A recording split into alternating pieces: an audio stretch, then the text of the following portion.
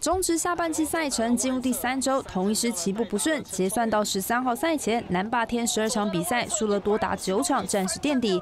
中间更有一波从上半季尾声开始的八连败。从数据来看，狮子军下半季团队打击率只有两成四三，发生多达十八次的失误，更是五队最多。跟其他队比起来，就是伤兵嘛，然后外援嘛，确诊回来，然后调整也不顺，所以我觉得一连串加起来。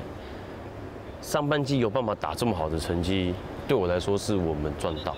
遇到挫败之后，大家就发现会慢慢的怀疑自己，然后慢慢的信心不足，加上我们有很多选手就是之前都没在一军，所以他们不知道一军的强度，然后怎么如何去调整。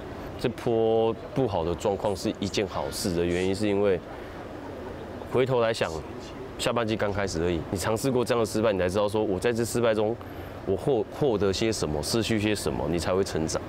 同一本季洋将状况不少，洋炮罗萨表现不如预期，六月初被解约；羊头罗昂六月中脚伤，休到现在。王牌布雷克更因为椎间盘突出要动刀，本季提前报销。目前寄望科瑞和新羊头克维斯能更有压制力。本土部分，下半季十二打数只有一支安打，状态低迷的球星陈庸基下到二军调整。终结者陈运文最近两次登板都有掉分小剧场，林总希望爱将找回确诊之前的稳定节奏，而。所谓人不太顺的时候，什么状况都有可能碰到。陈杰现在外野手背将被蜜蜂蛰伤，赶紧示意休息室请防护员检查。最后梅花二提前退场休息，这大概也是中职场上相当另类受伤的原因。杰先跟团队可能得赶紧找一下开运的秘方，努力摆脱下半季的卤煮位置。我来替台商超黄化军采访报道。